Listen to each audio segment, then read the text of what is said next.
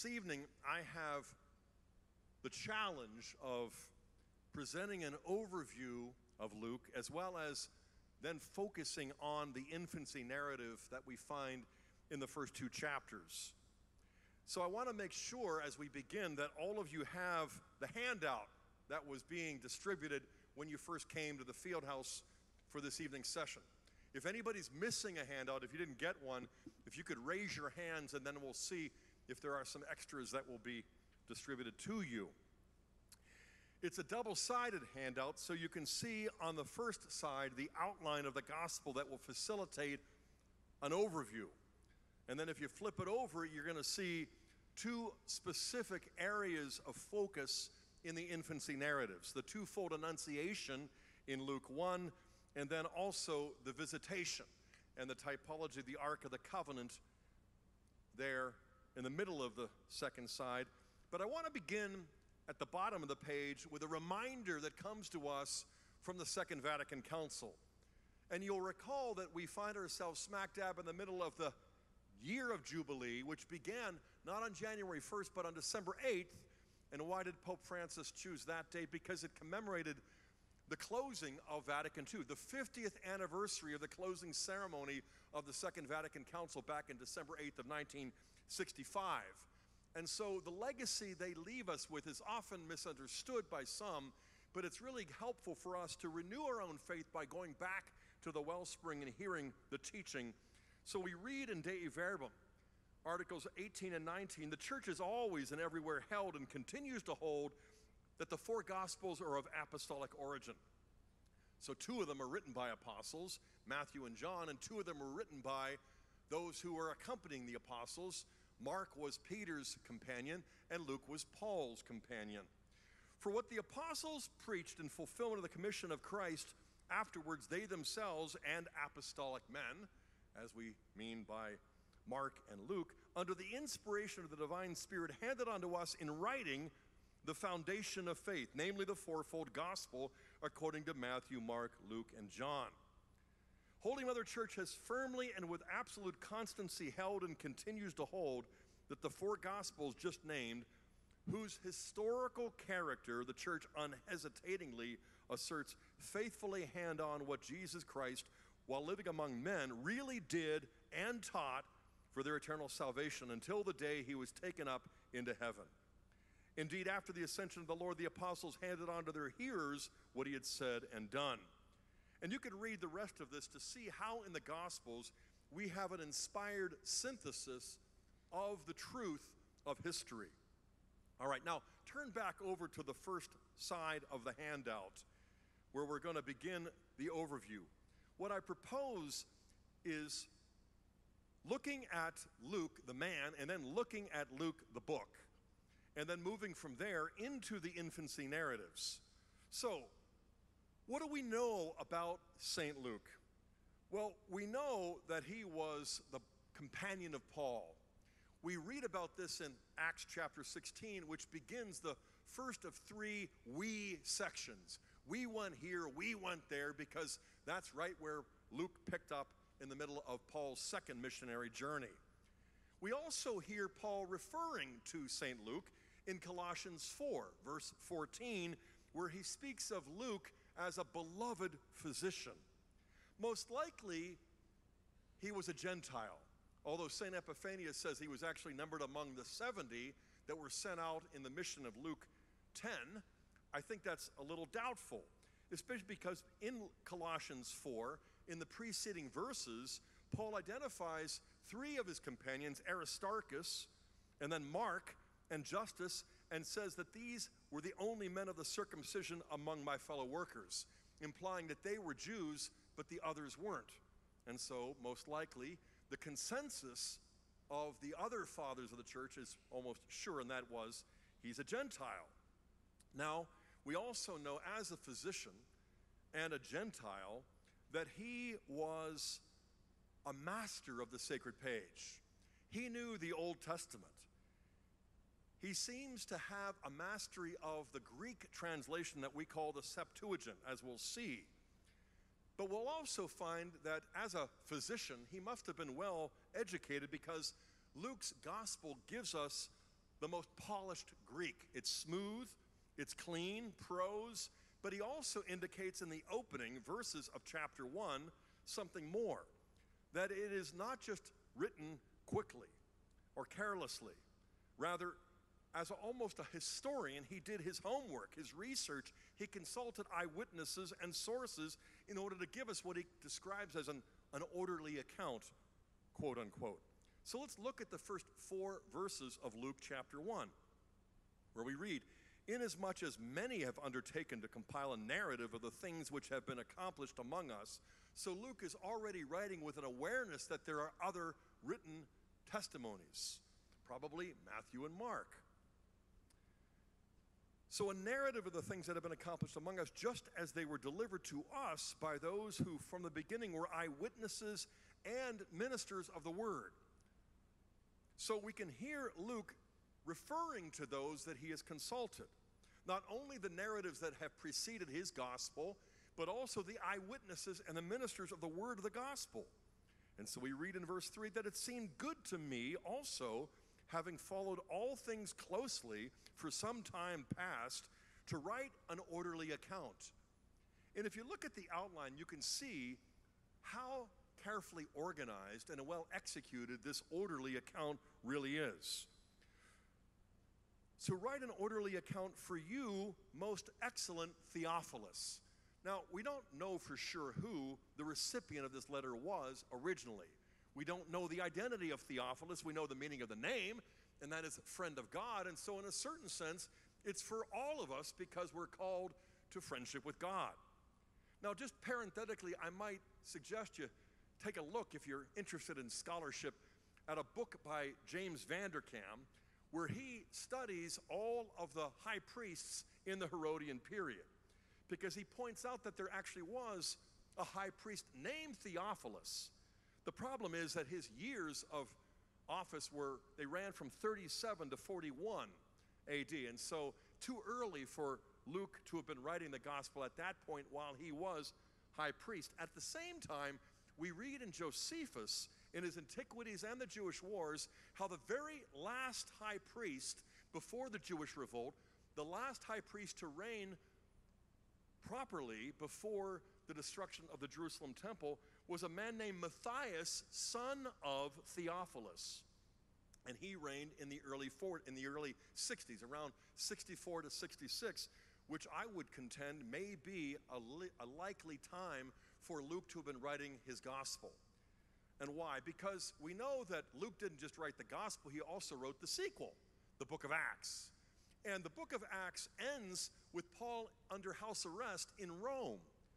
And, you know, given Luke's concerns to show us how, through the Holy Spirit, the life, the teaching, the miracles, the ministry, but also the death of Christ is reproduced in the apostles, in, in the church, it seems that it would have been more fitting if Paul had already been dead for Luke to have described that. And so the very fact that the sequel to the gospel, the book of Acts, ends with Paul under house arrest in Rome probably indicates the most likely time when he was writing both the gospel and the sequel. And so this would have been the early 60s. And so it would have been the time frame when Matthias, the son of Theophilus, came into office as the high priest. We also know from the book of Acts, chapter 6, that right before the proto martyr St. Stephen's death, many of the priests in the temple were beginning to hear the gospel and believe. Many were converted and baptized. And you can imagine what a challenge that must have been for the high priest who wasn't about to convert because it would have implied that we missed the Messiah, but not only that, but we also had him murdered. It would be like people in the White House back in the Soviet era, you know, defecting to the communist Russia. It would have been unthinkable. It would have been provocative. It would have, and in fact, it did provoke the persecution that begins with Stephen's martyrdom in 7 and then the fierce persecution that we read about in Acts 8. So, Matthias, the son of Theophilus, reigning as the last high priest, most likely his father might still have been alive. And just as Annas and Caiaphas were both priests, one was the father in law and Caiaphas was the son in law, I would just propose that this is something worthy of further exploration especially because of the priestly emphases that we find in Luke's gospel and in his sequel. For example, just think about how Luke's gospel begins with a scene involving the drawing of lots to select what? Zechariah, the priest who will offer incense in the temple, as we read before he hears from the angel Gabriel about the birth of John the Baptist. The only other scene that we find in the synoptic tradition involving the drawing of lots is where? In Acts 1, Luke's sequel, where we have the drawing of lots for Judas's replacement, namely Matthias, who therefore joins the 12 as representing not only an apostolic college, but also the priests of the new covenant, of the new Jerusalem, as it were. And so I think the more closely we pay attention to what Luke is doing in the gospel and then in the book of Acts, the more we're going to understand how the work of Christ in his own physical body is precisely what the Holy Spirit is replicating in the book of Acts in his mystical body. And so I've written a paper that was published after I'd presented it at Oxford about 10 years ago entitled From Davidic Christology to Kingdom Ecclesiology, a study of Luke Acts. Because Luke focuses upon Jesus as the son of David, as the king. The first one to be called a son of God was Solomon, the son of David. And now the fulfillment of the Davidic covenant is what Jesus embodies. And so, what Jesus is in his physical body, as the Christ, the Son of David, the Son of God, the King of Kings, so the kingdom of the King, the extension of his physical body, is precisely what the Holy Spirit replicates in the church, the mystical body in the book of Acts. I could go on, but it's an indication of how well St. Paul mentored his companion. That this Gentile physician would become a master of the sacred page, that is, the scripture of ancient Israel, and be able to draw from it so extensively to make these connections not only between the Old Testament and the New, but between what Jesus does in his physical body in his public ministry and then what he does in his mystical body through the power of the Spirit throughout the book of Acts. We're going to be hearing more about this as these days unfold.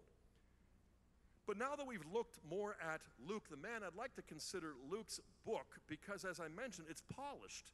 It's really amazingly clear prose. It's an orderly account, but it's also the first of a two volume work.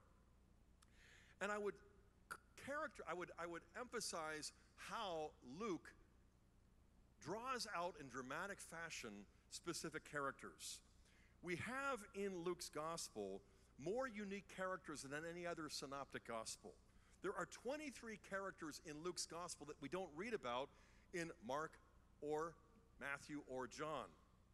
And that's not to mention the 77 generations in Luke's genealogy of Jesus that takes it all the way back to Adam, there in Luke chapter 3. But it's not just a quantity of characters, it's also the quality of the depiction of these characters. You have a lot of unique features in these particular characters, especially the women. We have more about the Blessed Virgin in Luke's gospel than in any other we have more information about Elizabeth, who's not mentioned by any other evangelist, Anna of Asher, as well as the widow of Nain, whose son is raised from the dead. Mary Magdalene is treated more fully, Joanna, Susanna, as well as Mary and Martha, the sinful woman, as well as the daughters of Jerusalem. All of these are unique characters for the most part that Luke really focuses on and develops. And there are many others as well. Luke is a great writer, a great storyteller. And what he's telling us is the truth about what Christ has said and done, especially in his teaching. And so, of the 23 parables that we find in Luke's gospel, 19 of them are unique, especially almost everybody's favorite. The parable of the prodigal son, that's only in Luke. Likewise, the parable of the Good Samaritan, that's also only in Luke. The gospel of mercy, we're going to see that Luke speaks of mercy six times. Five out of the six references are found in the infancy narrative of Luke chapter 1 and 2. The sixth reference to eleos, mercy, is there in the parable of the Good Samaritan. Who acted as the neighbor? The one who showed mercy. And so the gospel of mercy highlights characters who get the inner logic of the law of the covenant, which is love love of God and love of neighbor. We're also going to see this emphasis on the work of the Holy Spirit in Luke's gospel, just as it's developed even more in his sequel. Luke refers to the pneuma, the spirit, more than any other evangelist. 36 times in the gospel, 70 times in the book of Acts, to show how it is the Holy Spirit who empowers these disciples to live out the life, the death, and resurrection of Jesus, but especially in the task of evangelization. Luke himself is an evangelist, but he points out that Jesus is not just the good news, he's also the proclaimer. He's both the proclaimer and the proclaimed. He is the first evangelist. And in fact, Luke uses that Greek verb, euangelizo, 10 times in the gospel. Matthew only uses it once. And then he develops even more 15 times in the book of Acts to show again how the Spirit working through the apostles in the church extends to us the life of Christ. And that's what evangelization consists of. Not just hearing it once and making an initial decision, but responding to it more and more. And it's interesting because this Theophilus, whoever he is, is told in Luke 1, verse 4, that Luke's intention is simple that you may know the truth concerning the things of which you have been informed. And if you have an Ignatius Catholic Study Bible volume, you will find that there is a word study for that word informed because in the Greek it's katecheo. It's where we get the word catechist. It's where we get the word catechesis. It draws from the Greek word echo, where we hear the English form, the original is echo, where we're hearing again and again the good news. And it's not fading, if anything, it's growing. And so, what Luke is giving to us, I would propose, is not only great literature with beautiful prose, he's also giving us something of a biography. I don't have the time to develop this, but I want to just mention real briefly that um, one of our team members, a dear friend, Dr. Brant Pitre, has a brand new book out that you've got to get. Storm the bookstore. And uh, and I'll work out an arrangement with Brant where you can split the royalties. But uh, it's entitled The Case for Jesus The Biblical and Historical Evidence for Christ. I could spend the rest of the hour talking about this book. Instead, I want to encourage you to get it because what he shows is that the Gospels are, according to historical evidence and objective research, scientifically reliable. And so, a lot of scholars who pretend they're not are wrong. And it isn't just an act of faith, it really is the application of historical reason in a cautious and proper way that shows us that there is a literary genre back in the first century that any Greco Roman reader would have recognized, namely the life of Caesar, the bios. There are a number of books, about 10 to 20,000 words, that were the life of so and so, the life of such and such. And so Luke is giving to us what the other evangelists give us, and that is a kind of biography. Biographies of ancient figures in Greco Roman culture focus upon the birth. They often skip big sections of the life, but also then zero in on the death and the heroic nature of that death, as well as the services rendered. And these bio, or these books that were the lives of in ancient Greco Roman culture, were typically read in the context of a symposium. That is, a meal, much like the Eucharist, which is probably where Luke wanted or expected his gospel to be read and explained. So it is a literary masterpiece. The genre is probably a bios or a biography, the life of Jesus, but its purpose is evangelistic. But not simply the first time around, it really is catechetical. And as we're going to see it unfolding from the Gospel of Luke to the Acts of the Apostles, you might even describe it as mystagogical catechesis that it's written for the church, to be read in the church, to be actualized by the church's sacramental life through the liturgical worship. For those who are baptized into the mystery of Christ, and for those who receive the mystery of his body, blood, soul, and divinity. All of this, I think, is crucial, not only from a faith perspective, but from the perspective of first century Greco Roman culture and historical background. I could say more, but I need to move on so that we're not just going to focus simply on the, the figure of Luke and the Gospel of Luke. But I want to say a, a few more things before I do move into the infancy narratives because Luke gives us so much more than what we find in other gospels. I'm not saying it's superior, it's just distinctive. For example, only Luke tells us about the glory in excelsis when the angels appeared to the shepherds and they went to see the newborn Jesus. Only Luke tells us about the rejection of Jesus there in Nazareth, his own hometown. Only Luke tells us in the next chapter about how Simon loaned Jesus the boat and there was this miraculous catch that ripped the nets. Depart from me, for I'm a sinner, Simon Peter responded. Only Luke gives us the mission of the 70, where the harvest is so plentiful, the labors are few, that Jesus is doing in the new what Moses did in the old, and that is appointing 70 elders and anointing them with his Spirit to help him lead the people of God. I have come to cast fire upon the earth. I saw Satan fall like lightning. The ten lepers who are cleansed, the only one who comes back is a Samaritan. The fact that Herod also had a trial for Jesus. The famous story of the penitent thief. Remember me.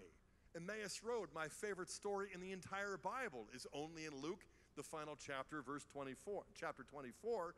And we're going to hear from Dr. Bergsma tomorrow about another feature of Luke that is distinctive, namely his 10 fellowship meals. That there are 10 meal scenes, seven of which are unique to Luke. One of them that's not is the feeding of the 5,000. Another one that's not is the institution narrative, where we find the Eucharist being instituted in Luke 22. But Luke gives us the fullest institution account. In fact, Luke's account of the institution of the Eucharist is longer than Matthew and Mark combined. And only Luke gives us that fuller account where Jesus speaks of the blood of the new covenant.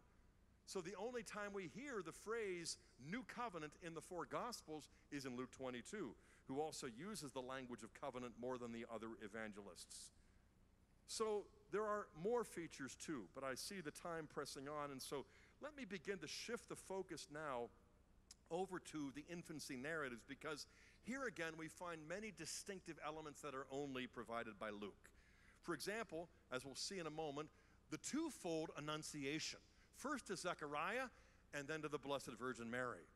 Second, the visitation of the Blessed Virgin to her kinswoman Elizabeth. And then we're also going to hear four particular liturgical hymns or prayers that we all recognize from our Catholic upbringing the Magnificat in 146, the Benedictus of Zechariah in 167, the singing of the angels of the glory in excelsis there in chapter 215 and then the night prayer of Simeon, his song, the Nunc Dimittis, now let your servant depart in peace, there in 229. Three of these are prayed continuously by the church every day in the Liturgy of the Hours. What a rich and beautiful tradition we find in the infancy narratives. But in addition to that, we also have Anna of Asher. We have the finding of the boy Jesus in the temple.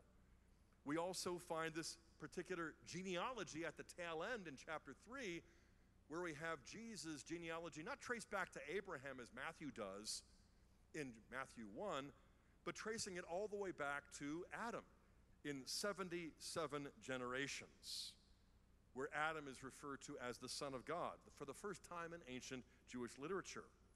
We also have the presentation, or I should say the purification and the presentation all of these things, I believe, are important for our consideration. Now, as I move on, I want to also indicate what it is about this that is significant. I just looked down and noticed that there are a couple of things that I omitted. It's painful. I can't wait to enter into eternity. Read Brant's book and you'll get almost all of it. All right, now, what I propose now is this. Let's take a look at the infancy narrative, in particular, the Annunciation, or the twofold Annunciation. Turn over the handout to the second side, and you'll see that this is peculiar because it's the only evangelist, Luke, who gives us an appearance of Gabriel. And it's a twofold appearance. First to Zechariah, beginning in Luke 1, verse 5, and then again to the Blessed Virgin in Luke 1, verse 26. And as you see the parallelism in the chart, you can also recognize that this is not accidental.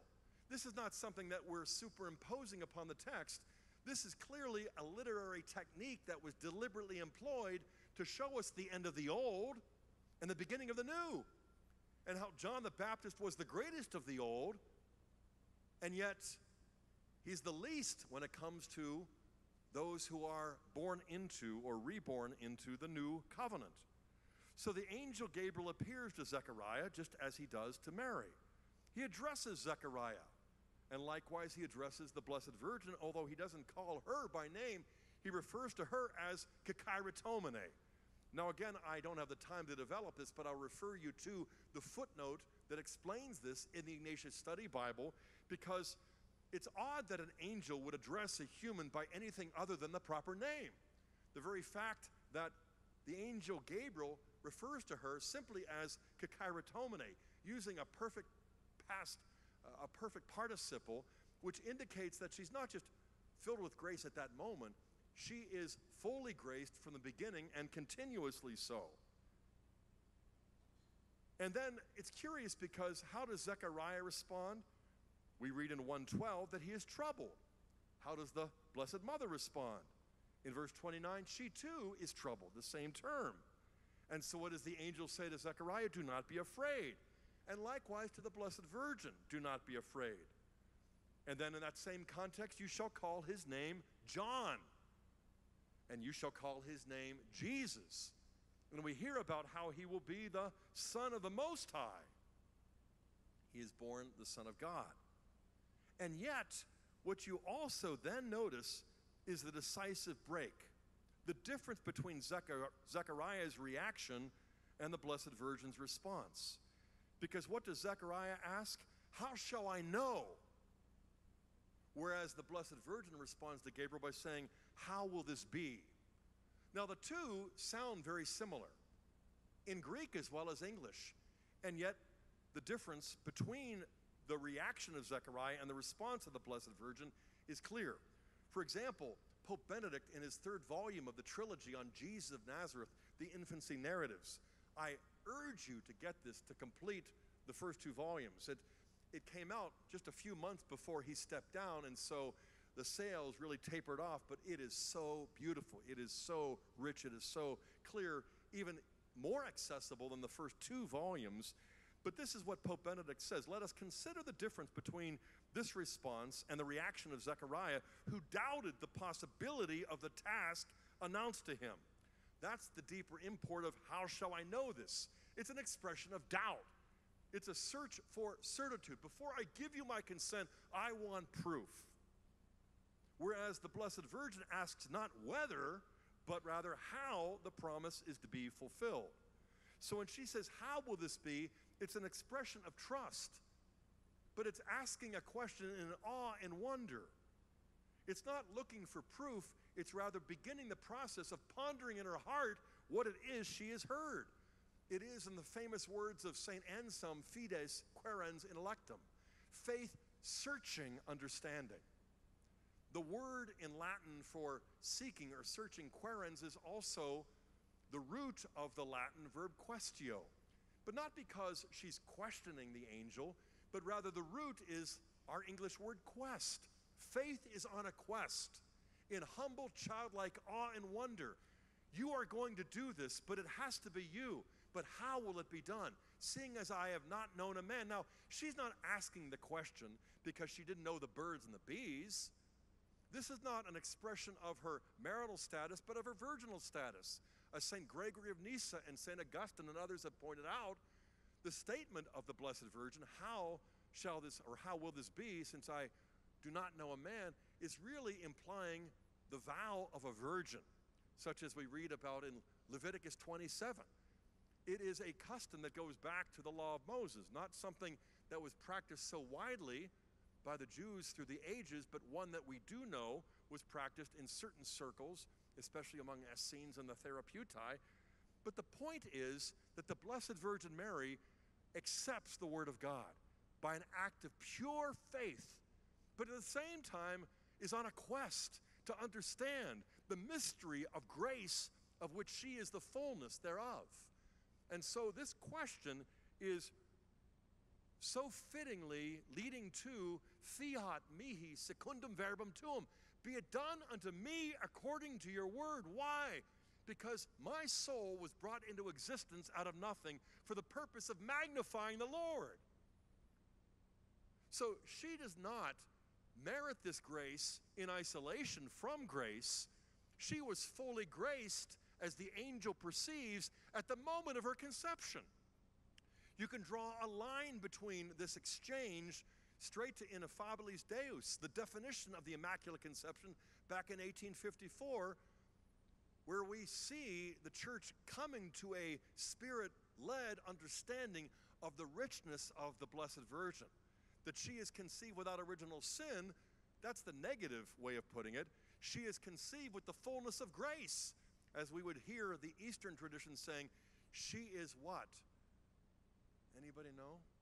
Not Theotokos, yes, but she is all holy, Panagia. So from the moment of her conception, she possesses a holiness that exceeds our wildest dreams, our highest hopes, and our own personal attainments.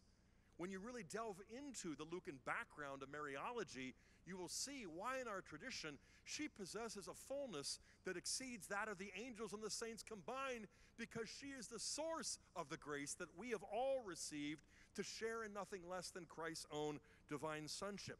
This is the truth, the whole truth, and nothing but the truth vouchsafed to her at the moment of her conception as the act of love by God the Creator, who fashions her to be something that exceeds the heavens and the earth. If we could see through the eyes of our guardian angel, we would behold not only our mother in the order of grace, we would behold the new creation. We would see the perfection of Christ's redemptive work. We would see what Luke in our tradition first painted in the icon of the Blessed Virgin. We would see who it is who will be our mother, who embodies the identity and the vocation of the church. I could go on and on but I think you can see the literary artistry of Luke in this twofold Annunciation narrative is pointing to the truth of history, but it's not just historically true, it's theologically rich. It's the mystery of faith. It's so deep as to be inexhaustible, but what better use do we have of the time that we have on this earth than to contemplate the mystery of Christ that was entrusted to her, that was narrated for us in this amazing scene that concludes the Old Testament with a barren woman giving birth to John the Baptist, the latest and the greatest of the prophets, and then a consecrated virgin conceiving the Word of God. Not only in her womb, but you'll recall what St. Augustine said she conceived him in her heart before she conceived him in flesh within her womb. It was the bond of love that the Holy Spirit empowered her to express that caused this supernatural fecundity that we celebrate not only in the gospel story, but in the rosary as well. And let me just take another moment here for another parenthetical aside because I know a number of you are familiar with St. Louis de Montfort's true devotion and total consecration, right? Totus tuus ego sum was Pope St. John Paul's motto when he became Pope, quoting St. Louis de Montfort. Totus tuus, totally yours, he said to the Blessed Virgin Mary. I might also recommend the work of a close friend and a former student and an amazing priest, Father Michael Gaitley, 33 Days to Morning Glory, which is an adaptation of the St. Louis de Montfort true devotion and total consecration. He draws initially for the first week from St. Louis de Montfort. Then he also draws from St. Maximilian Kolbe, one of my all time favorites. Then he goes to soon to be Saint Mother Teresa, and finally St. John Paul II. And he makes the Bible and the Blessed Virgin Mary come together he makes our devotion and doctrine come alive. And it's something that I am in the middle of redoing now for the eighth or ninth time leading up to the Feast of the Assumption next month. I really urge you at this point in history, perhaps more than ever before, where our culture is going nuts, we have got to go to the Blessed Virgin and allow ourselves to entrust, to be entrusted to her as Jesus was, as Joseph was, you search the Old Testament, and it's no surprise that Zechariah expresses doubt and is struck dumb until he can write John's name down and finally give consent to what the angel said. Because from the very dawn of creation, you can see a man named Adam who was made upright, totally righteous until he fell. And then you can see how God renews that covenant again and again with Noah, who ends up drunk in chapter 9 and cursing his grandson. And then we have Abraham, who has relations with his concubine and expects Ishmael to fulfill God's promise. Not quite. Then we have Moses murdering an Egyptian and then throwing a tantrum and being excluded from the promised land. We have David as an adulterer and a murderer. As we search through the timeline of covenantal salvation history, we don't really find a holy man who remains holy and steadfast in his righteousness until Mary, until Joseph, until Jesus. What we call the Holy Family is the first family to be holy in salvation history.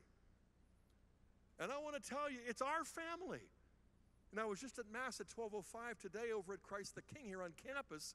And as I was thinking about what I was going to share, I looked up and I saw the images of Jesus in the center, Mary on the left, and Joseph on the right. These aren't just three images, these are three persons. They're not just three individual persons, though, they're one family, inviting us to renew our covenant to become with one with them because that's what the church is. It's the extended family from Nazareth, which is a little trinity on earth, as my patron saint, St. Francis de Sales, once declared. The Holy Family is the living image of the divine Trinity, this eternal family. This is who we are. This is what we're called to become and this is what it means to be saints. But I also want to point out something else that we find on the handout, something else that we find in the infancy narrative, namely the visitation. Because here we find Luke declaring in chapter 1, verse 35, that the Holy Spirit will come upon you and the power of the Most High will what? Overshadow you. The term that he uses, episkiazo, is an unusual term. You find it back in Exodus 40 at the conclusion of the book of Exodus, where the glory of God, that is the Spirit of the Lord, overshadows the tabernacle, where the Ark of the Covenant was found. And as you trace the trajectory of the Ark of the Covenant through the 40 years in the wilderness, when Joshua carried the ark to the bank of the Jordan River, and it did for Joshua what the Red Sea did for Moses with his staff. And then how the ark is leading Israel out in front with the Levites who carry it seven days in a row, and then the seven times on the seventh day around Jericho when that comes down. But the ark narrative isn't done until 2 Samuel 6 because the conquest of the promised land wasn't complete for centuries. It wasn't until David arose and went to the Judean hill country and he found the ark of the covenant. And we read in that narrative this beautiful account of how he arose and went and how he found it. And he was filled with such a sense of awe that he said, Who am I that the ark of the Lord should come to me? And he responds with leaping and dancing for joy. And likewise, he pronounces a blessing upon the Lord. And he sings to God with song, a song of grace and thanksgiving. And then he carries it up into Jerusalem after it had been there in the Judean hill country for three months. So, what do you find in Luke? What not only Catholic scholars have noticed, but even non Catholic scholars, that Luke is developing a typology to show us that Mary is, in effect, the Ark of the New Covenant. What happened to the Ark of the Old We'll go back to first Mac, Second Maccabees 2, right before the Babylonians came to destroy Jerusalem and desecrate the temple and demolish it. The prophet Jeremiah was led by the Spirit to take out the ark and hide it in a cave, and then he said it wouldn't be found until the mercy of the Lord was shown. And so they were awaiting the ark to be found. But really, what Jeremiah was pointing forward to was not simply that wooden box made of acacia wood for durability and permanence, covered with gold, filled with the, the stone tablets, the Word of God in stone, along with the manna that sustained Israel in the wilderness for 40 years, and Aaron's rod that blossomed. All of that was a sign of something greater the immaculate humanity of the Blessed Virgin, overshadowed with the divinity of her own fullness of grace, containing the Word not in stone, but in flesh. The manna, which is the true manna of the new covenant, the bread of life, which is given for the life of the world. And so, with all of that as the background, we read in Luke 1, verse 39, after the Holy Spirit overshadowed the Blessed Virgin in verse 35, like it did the tabernacle and the Ark of the Covenant, Mary does what David did. She arose and went with haste into the hill country of Judea, like we read in 2 Samuel 6 2.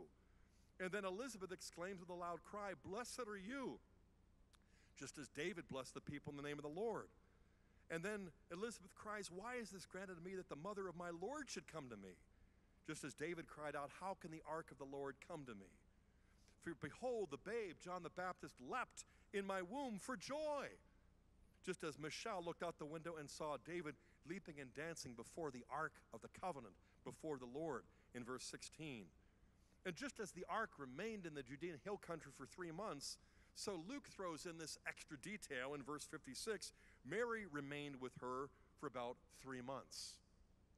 Now, these aren't coincidences, these are convergences that show us, like spokes that converge on the hub of a wheel, how all of the details of the old covenant are fulfilled by the new.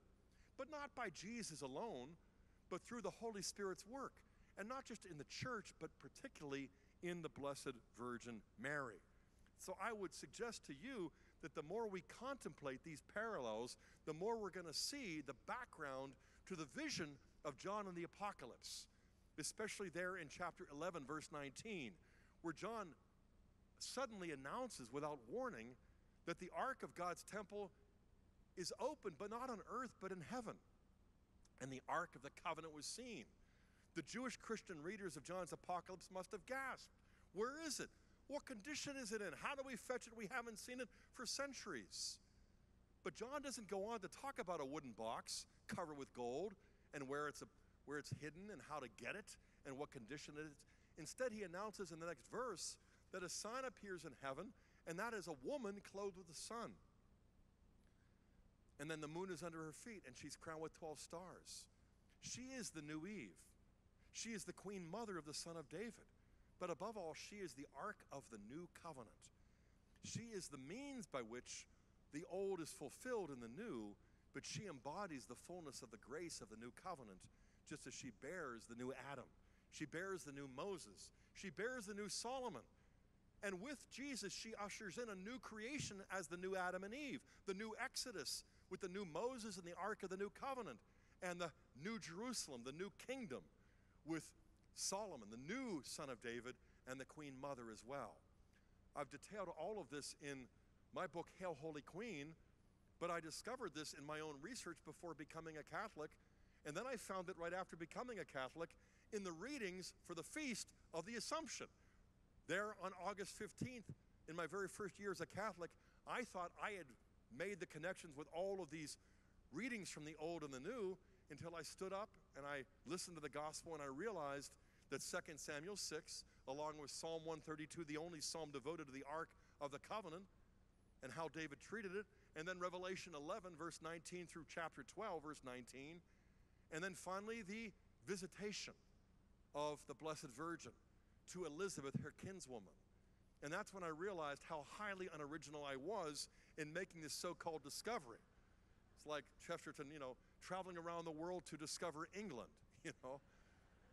This is there in the church's living tradition. The Holy Spirit awakens it in us at various times.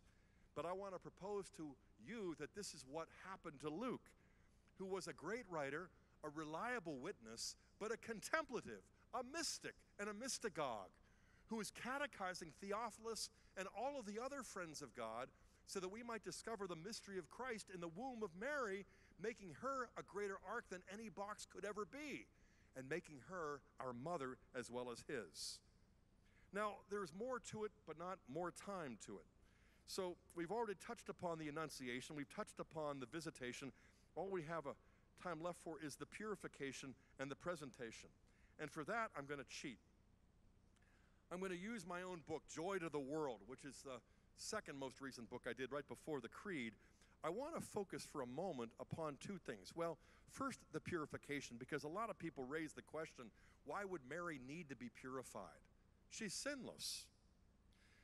And besides that, why do women need to be purified anyway after childbirth? Does that just imply that sex is sinful? In my book on page 132, I say, and I quote, this does not mean that the law considered sex or womanhood or childbirth to be dirty or sinful.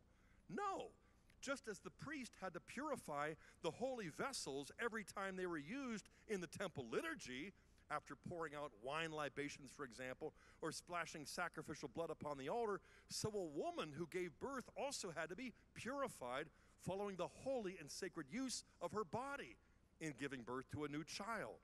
Purification acknowledges at one time the holiness of the vessel, but the need for that holiness to be renewed so that it can once again carry on God's sacred purposes. After the vessels are purified, they're used again by the priest in the sacred liturgy of the temple so that God can use these instruments to visit his people. And then I go on to explain this profound analogy between the temple and the body. And not just the human body in general, but the woman's body as wife and mother in particular. Concluding that Mary was sinless, she was full of grace. In no way did she need to be cleansed of sin, but she knew that grace was a divine gift that she could never merit on her own apart from God. In her humility, therefore, she submitted to the law requiring purification in Leviticus 12, verse 8. She keeps the law in its minute detail, just as her son does, to fulfill all righteousness. But I also want to do something more, and that is I want to touch upon this presentation in two ways. First, I want to draw from the significance of the old and the new. Because we only find Gabriel here in the new, in the Gospel of Luke, in the infancy narrative, and we only find Gabriel in the old delivering an oracle in the book of Daniel, chapters 8 and 9, and most especially Daniel 9, where the redemption of Jerusalem was foretold by the angel Gabriel in response to Daniel's heartfelt prayer of penance. After Daniel is done with his penitential prayer in the first half of chapter 9, angel, the angel Gabriel comes and announces what? That the Lord will put an end to iniquity. There will be one who's anointed. The animal sacrifices will cease, but the prophecy will be fulfilled. The city will be destroyed, but God will make a strong covenant. But when will all of this take place? In 70 weeks, 77s. That's the numerical symbol employed by Gabriel, which literally means 70 weeks of years in 490 years. This is why every Jew in the first century realized that Daniel's prophetic clock was running out. It was the 11th hour. 490 years essentially had elapsed from the oracle that Gabriel gave to Daniel to the coming of the Messiah and the redemption of Jerusalem. And it's significant, too, then, when we look at angel Gabriel, St. Gabriel's appearance to Zechariah and to the Blessed Virgin, and the timetable that Luke gives us explicitly. For when was it that Mary went to visit her kinswoman Elizabeth when she was in her sixth month? Now, for Jews, a month is 30 days, and so what is six times 30? 180 days. At that same time, Gabriel appears to the Blessed Virgin with that second annunciation announcing that she will conceive and give birth to the Son of the Most High. And so nine months later, she did so. But what is nine times 30? 270. So six months plus nine months. Six months, 180. Nine months, 270. Plus 40 days when she goes up to be purified and to consecrate her Lord, her Son, in the presentation adds up to what? 490 days. What a coincidence. Pope Benedict didn't think so. And Father Laurentin and others have argued that this is a deliberate device used by the master of the sacred page, St. Luke, who has contemplated the word just like Our Lady pondered it in her heart. So we are challenged to take this word into our hearts, not to become Bible scholars, but to become those who feast upon the bread of life, to become more like children of Our Lady, full of faith, full of hope, and full of love. But there is one thing that she does in Luke 2, verse 22, that is also somewhat unexpected.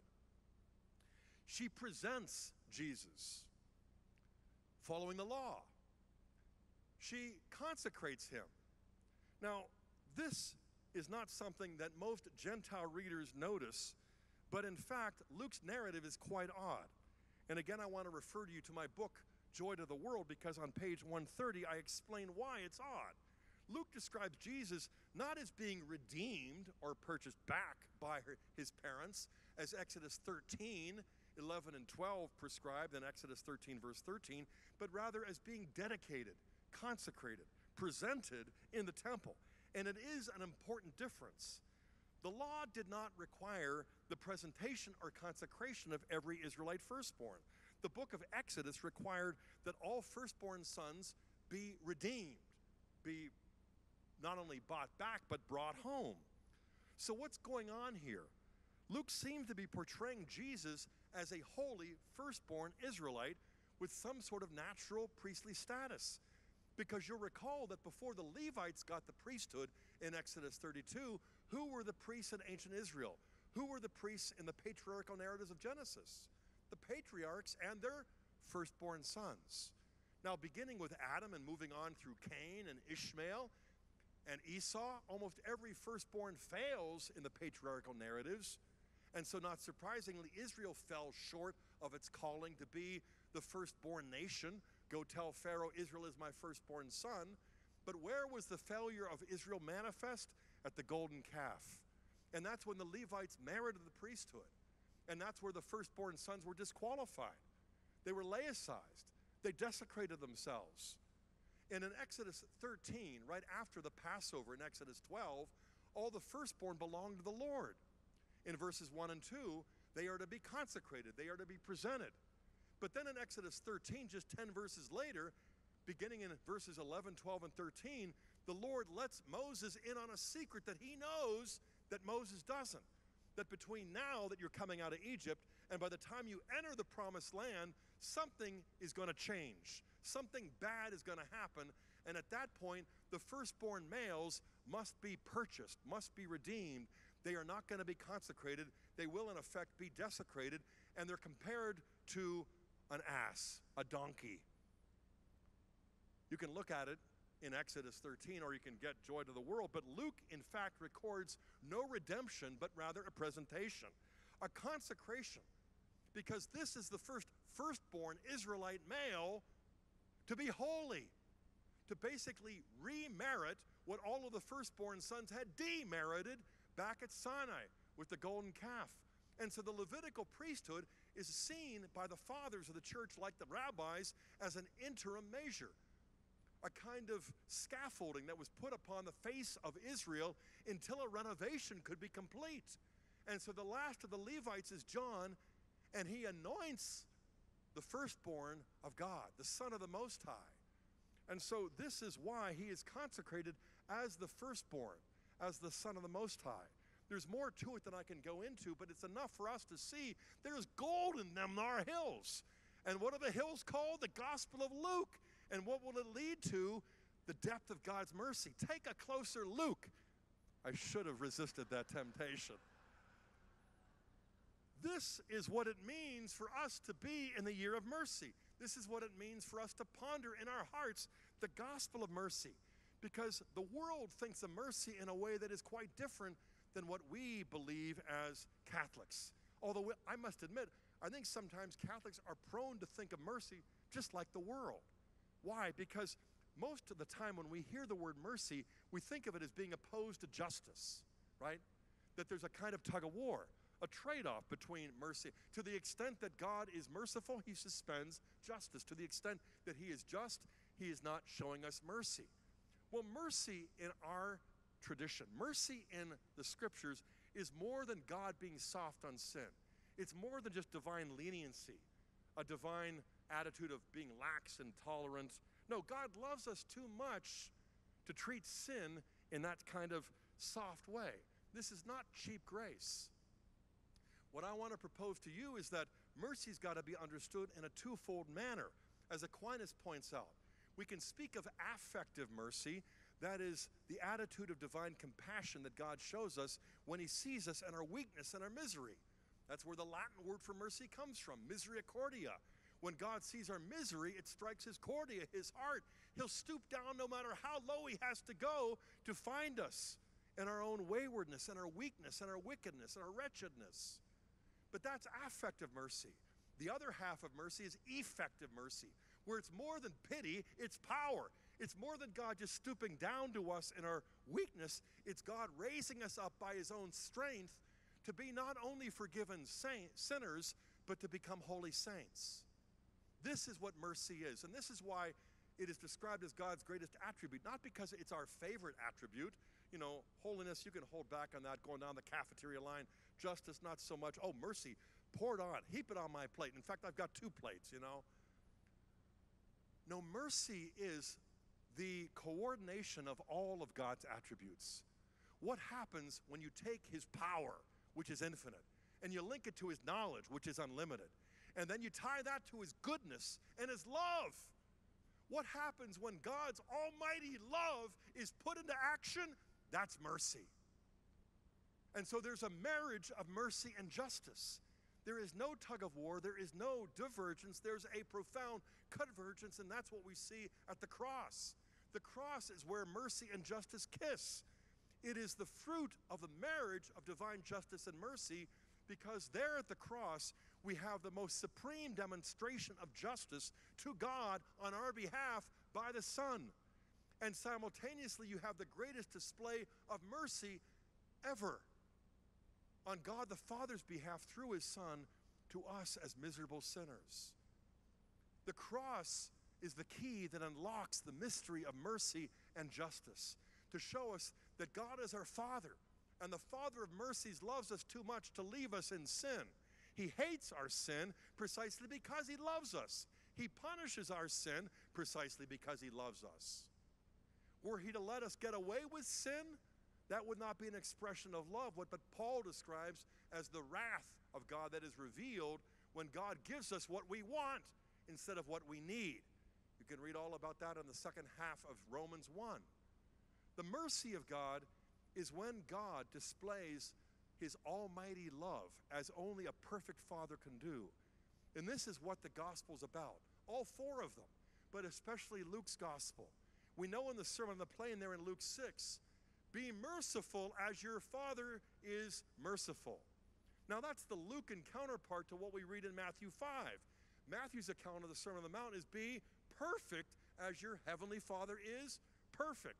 Now, if you had to choose between Luke 6 and Matthew 5, which one would every one of us choose? Be merciful or be perfect? But again, it's not an either or, it's a both and. Because what is the perfection of God? It's the perfection of a Father who loves us so much he'll stoop down to us in our misery and weakness. But it's also the perfection of a Father who is able to overcome our weakness, give us all that we need, make up for all that we lack, and transform bread and wine into Christ, even more transubstantiate sinners into saints. That's the work of divine mercy. And so when we hear Matthew say, be perfect, and Luke says, be merciful, it's because the perfection of God's fatherhood is his mercy. It's how He perfects sinners like me and you. But it's also how He empowers us to extend mercy to other people and in the process become perfect like sons and daughters of God should be. Can you believe we got a little bit of a lifetime left to reflect upon these Gospels and especially upon Luke?